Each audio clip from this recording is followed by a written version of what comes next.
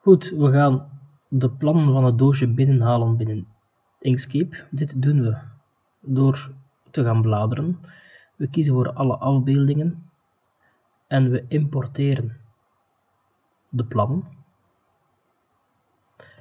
We gaan het doosje personaliseren. Ik wil op de zijkanten de naam.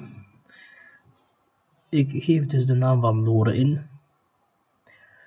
Ik kan dit kopiëren en op alle andere zijkanten gaan plaatsen. Kopiëren doen we door op de naam te gaan staan, rechtermuisknop kiezen voor kopiëren, vervolgens kiezen voor plakken.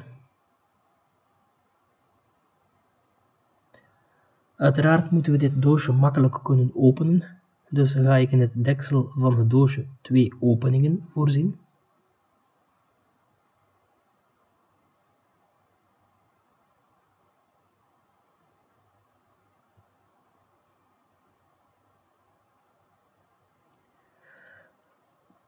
Ik plaats de openingen op het dekseltje. Ik kan de grootte van de openingen gaan aanpassen door de x en de y-waarden te gaan wijzigen. Ik wil cirkelvormige openingen, dan neem ik uiteraard dezelfde waarden voor x en y.